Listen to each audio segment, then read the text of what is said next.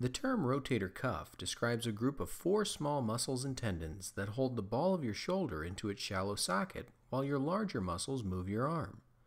Strains and injuries to the rotator cuff are the most common cause of shoulder problems, accounting for 4.5 million doctor visits each year. Rotator cuff injuries can range from simple irritation to complete tendon ruptures. Tears to the rotator cuff are common and are classified by the amount of damage. A partial tear means one side of your tendon has become somewhat frayed. A full thickness tear, sometimes called a complete tear, describes a hole or slit in the tendon, much like what would be created by running a knife lengthwise down a rope. A rupture is the most serious injury. This means that your tendon has been torn in two. Less than 10% of rotator cuff tears are the result of an acute injury, like falling. Patients who have suffered an acute rotator cuff tear often report a snapping or ripping sensation accompanied by immediate severe pain and weakness. The vast majority of injuries are the result of repetitive strains occurring over a long period of time. One of the most common reasons to develop a rotator cuff problem is something called impingement.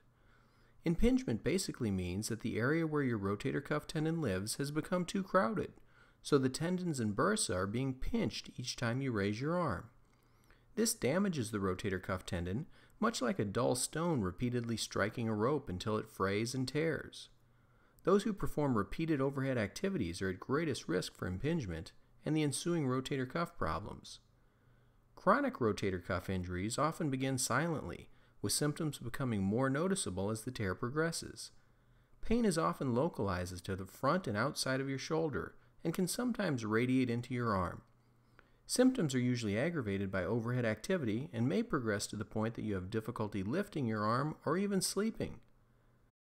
While young patients who have suffered an acute rupture may require surgery, research shows that the majority of others will benefit from conservative treatments.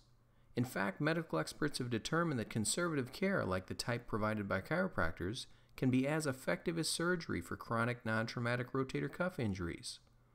In particular, chiropractors are uniquely trained to perform joint manipulation, which has been shown to assist in the resolution of shoulder pain.